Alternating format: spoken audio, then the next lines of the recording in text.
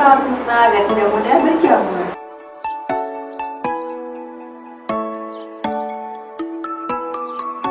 Yang pertama, cuci mukena dengan air dingin.